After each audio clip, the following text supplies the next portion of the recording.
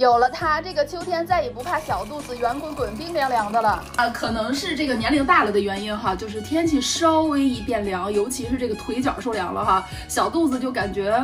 冰冰凉的，还圆鼓鼓的，就跟怀孕了五个月似的。不知道你们有没有跟我一样的感觉哈？所以这个每年一入秋的时候，我就会给自己准备一些姜米茶，感觉这个肚子凉的时候就喝上几天。每次喝完之后，都感觉这个胃里哈有一股热量一直往小肚子里边送，然后那个小肚子没有那么凉了，整个人也就舒服多了。这个姜米茶哈，其实做起来也是非常简单的。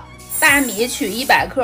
把它清洗干净，生姜一百克，把它清洗干净，切成细丝。对于这个姜皮留不留这件事儿哈，大家好像说法不一。我个人认为，相对来讲哈，这个姜肉是热的，姜皮是寒的。那如果没有特殊要求的话，最好都留下。陈皮我们取一整片儿，清洗干净之后，把它切成细丝。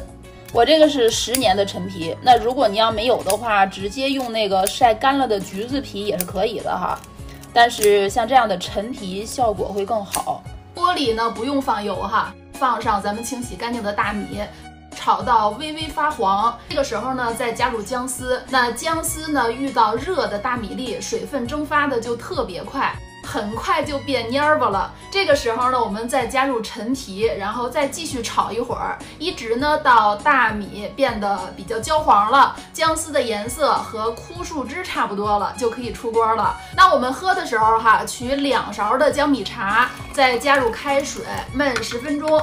这个茶哈，你一定要记得上午喝哈。那如果你很忙，平时没有时间自己炒，那我一般呢就会选择这个。找盐的姜米茶包，它里边除了姜和米，还有星汇陈皮，还加了黄酒。那这样的茶呢，让你上午喝一杯，温润的口感就像全身都被一股暖意裹住哈，舒服极了。这个方法哈，男人、女人、老人、小孩都可以用，只要你的小肚子是冰冰凉的，然后鼓鼓的，就赶快喝一杯试试吧。